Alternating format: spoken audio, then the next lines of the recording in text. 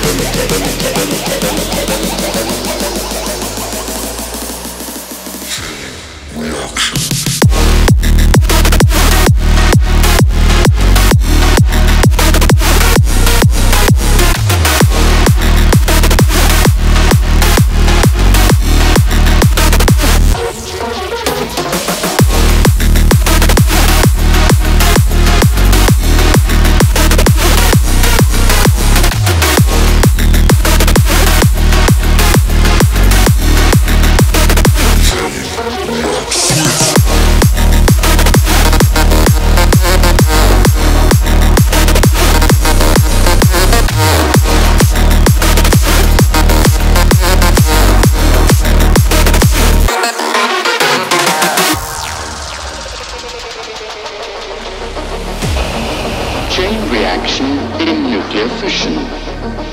When slow neutrons are bombarded on uranium, each uranium nucleus is broken into two almost equal parts. parts.